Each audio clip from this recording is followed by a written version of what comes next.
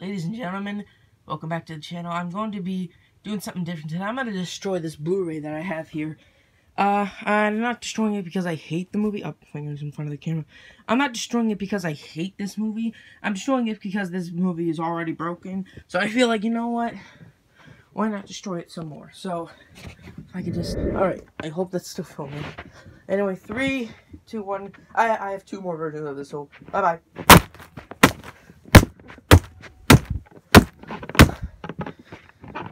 Alright.